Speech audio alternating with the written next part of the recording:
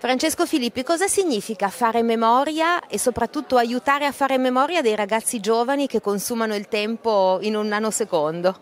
Beh, diciamo che la memoria è il modo che abbiamo tutti noi per andare nel passato a prendere degli spezzoni di ciò che è accaduto per renderlo importante per l'oggi. E il passato è ciò che siamo. Fare memoria significa riscoprire da dove veniamo in maniera un po' retorica, ma anche le possibilità eh, che abbiamo per il presente e per il futuro. Fare memoria per i giovani, ma oserei dire per tutte e tutti, è un valore di per sé ed è un valore di costruzione di valori. È il modo che noi esseri umani abbiamo per conoscerci, per sapere ciò che siamo stati avanti e anche per poter provare a prevedere che cosa potremmo essere. È una speranza di passato, ma è soprattutto una speranza di futuro.